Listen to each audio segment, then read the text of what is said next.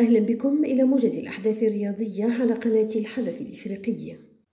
حسم التعادل السلبي مباراة المنتخب المكسيكي مع نظيره البولندي التي جمعتهما باستاد 974 مساء يوم الثلاثاء بمنافسات الجولة الأولى من دور المجموعات بكأس العالم 2022 وأضاع روبرت ليفاندوفسكي ركلة جزاء لبولندا في الدقيقة السابعة والخمسون ليضيع فوزا مهما لمنتخب بلاده وتنتهي المباراة بالتعادل السلبي.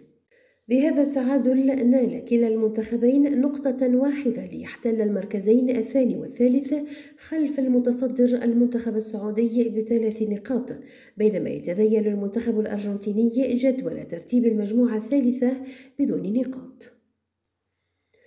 أمر ولي العهد السعودي الأمير محمد بن سلمان بنقل اللاعب ياسر الشهراني بشكل عاجل على متن طائرة خاصة للعلاج في ألمانيا بعد إصابته بكسر في الفك وعظم الوجه الأيسر خلال مباراة السعودية والأرجنتين. وكان الشهراني قد تعرض لإصابة قوية للغاية خلال المباراة يوم الثلاثاء إثر اصطدامه بشكل مباشر في الحارس محمد العويس.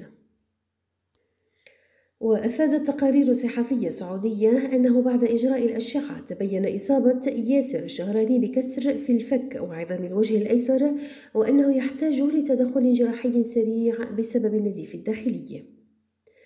وأجرى الجهاز الفني تبديلا بنزول اللاعب محمد البريك بدلا من الشهراني ونجح المنتخب السعودي في الحفاظ على تقدمه حتى نهاية المباراة.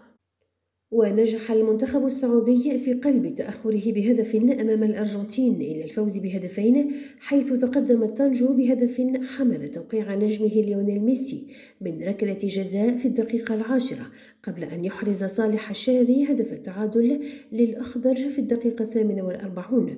وبعدها أضاف سالم الدويسري الهدف الثاني لمنتخب السعودية من تسديدة رائعة في الدقيقة الثالثة والخمسون. أعلن مانشستر يونايتد أمس الثلاثاء فسخ عقد النجم البرتغالي كريستيانو رونالدو في أعقاب الأزمة التي اندلعت بين الطرفين في الأيام الأخيرة. وقال مانشستر يونايتد في بيان رسمي سيغادر كريستيانو رونالدو النادي على الفور وفقا لاتفاق مشترك. ويشكر النادي رونالدو على مساهمته الهائلة في أولد ترافورد خلال الفترة الأولى والثانية حيث سجل 145 هدفا في 346 مباراة ويتمنى النادي له ولأسرته التوفيق في المستقبل.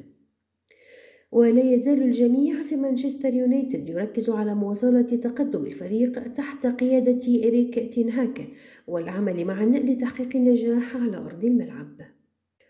وأدلى رونالدو بتصريحات نارية ضد مانشستر يونايتد ومدربه إريك تينهاج في أعقاب ما حدث معه في الأشهر الأولى من هذا الموسم وذلك خلال حوار صحفي مطول.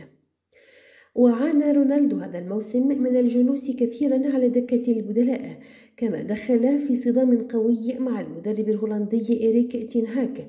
وأكد كريستيانو مؤخرا أن تينهاك لا يحترمه وبالتالي فإنه أيضا لا يحترمه. وعلق مانشستر في بيان على موقعه الرسمي على تلك المقابلة الصحفية المثيرة للجدل حيث لاحظ مانشستر يونايتد التغطية الإعلامية بخصوص مقابلة أجراها كريستيانو رونالدو. بهذا الخبر نأتي إلى نهاية الموجز الرياضي لهذا اليوم. شكرا على المتابعة.